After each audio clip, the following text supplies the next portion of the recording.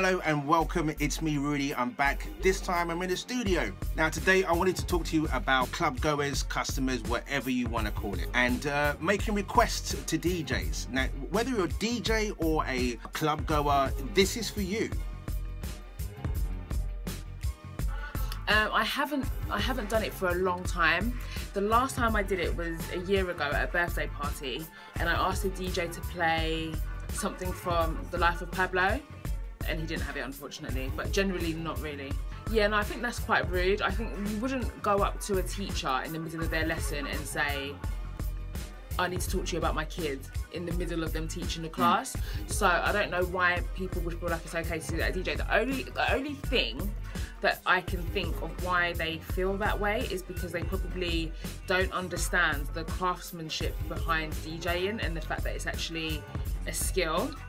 So I think that people take for granted and they just think, oh well, you just play music. Like, how hard can it be to engage with me? I've seen it, and I've actually been in the DJ booth while it's happening. I'm just like, what time, like, especially when the DJ has an idea. I thought DJs have an idea of what they want to play. Mm-hmm. So when you've come in with an request, it could just look and thinking, no, because it's gonna throw up the whole. Exactly. So I just think, nah. And do people even do that anymore? Imagine like you're DJ and you're doing house. What when a house track is like 50 minutes long, and you're gonna and you're gonna have time to be like, yeah, I want this song. No, man, just enjoy the music. Exactly. Step out, step out the booth. Step out the booth. I know it seems like a small thing, but it isn't because it happens so often, so much, and for me, it happens on a weekly basis. What happens is people will write stuff down on a piece of paper, shove a phone in your face with something written on notepad. Shoving a phone in my face is my least favorite. Trying to play you a video of whatever they want while you're mixing. Grab your shoulder and tug it back and forth, trying to get your attention. And that is what the annoying thing is. If there was a way that people could ask without getting on anyone else's nerves, then that would be a good thing. People tend to use pre-excuses as to why they should hear the track they've asked for right now. Oh, I missed it. I know you just played it, but can you play it again? Oh, I've got to leave in about five minutes. Can you play my track now? Oh, mate, this is my favorite tune. Can you play this for me? At that point, I begin not to care. I fully understand why some DJs just say, nah, I don't do requests, or flat out just say no. Sometimes people just say, yeah, I'll play it, and don't.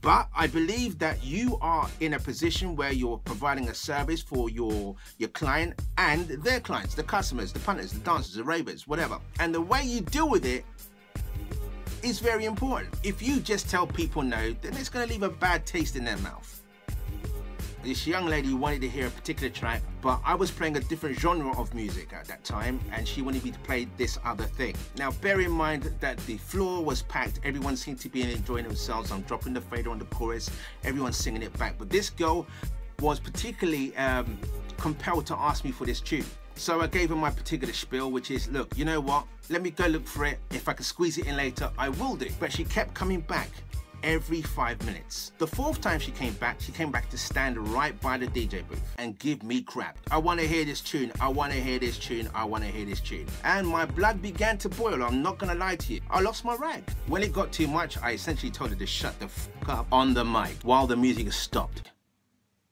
But since that day, I've never done it again simply because if I think back, it was very unprofessional. Now, having said that, later on in the evening, she was still there and came to say sorry for bugging me. I apologized to her for, for losing my rag. Now, if you're in a club or a bar and you're playing at dance floor level, then you're gonna have to expect someone to come up to you and ask for a request. And these days, I tend to remember that I'm there for a purpose.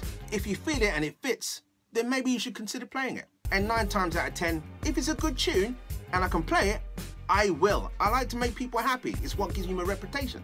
If you don't take requests, maybe you're doing yourself a disservice. Let me know what you think down below in the comments and don't forget to subscribe, like, share, and of course, comment. Big shouts to Mr. Voltaire and Ghana's Finest for their comments earlier on, and I'll check you next time. See you later. Peace.